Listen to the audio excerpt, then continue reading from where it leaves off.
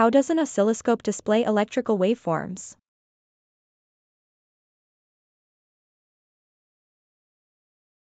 An oscilloscope is an electronic test instrument used to display and analyze electrical waveforms. It consists of a cathode ray tube, CRT, or a digital display, horizontal and vertical deflection system, and various controls to adjust the display settings. To understand how an oscilloscope displays electrical waveforms, let's break down the process step by step. 1. Signal input. The electrical waveform to be displayed is connected to the input of the oscilloscope. This can be done by using probes that are attached to the signal source. Horizontal deflection. The horizontal deflection system controls the movement of the electron beam horizontally across the screen. It is responsible for determining the time base or horizontal scale of the waveform. The time base setting determines how much time is represented by each horizontal division on the screen. Vertical deflection The vertical deflection system controls the movement of the electron beam vertically on the screen. It determines the amplitude or vertical scale of the waveform. The vertical deflection system has gain controls to adjust the sensitivity of the input signal. Triggering The triggering system is used to stabilize the waveform on the screen.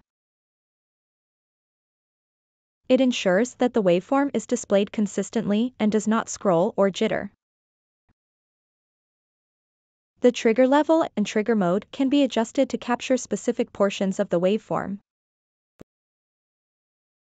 Electron beam The electron beam inside the oscilloscope moves across the screen, drawing the waveform. The beam is deflected horizontally and vertically based on the input signal and the settings of the horizontal and vertical deflection systems. Display The waveform is displayed on the screen of the oscilloscope. In older analog oscilloscopes, a CRT is used, which emits a beam of electrons that strikes a phosphor-coated screen, producing a visible trace the brightness and persistence of the trace can be adjusted. In digital oscilloscopes, the waveform is typically displayed on an LCD or LED screen. The input signal is sampled and converted into a digital format before being displayed as a series of data points connected by lines. Additional features Many oscilloscopes offer various triggering options, such as edge triggering, pulse width triggering, and slope triggering. These allow you to capture specific events or conditions in the waveform. Some oscilloscopes have built-in mathematical functions, allowing you to perform calculations on the waveform, such as measuring voltage, frequency, rise time, and more. Advanced oscilloscopes may include storage capabilities, allowing you to capture and store waveforms for later analysis.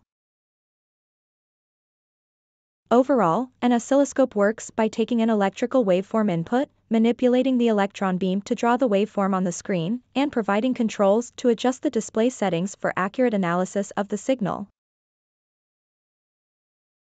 Thanks for watching, please like and share this video.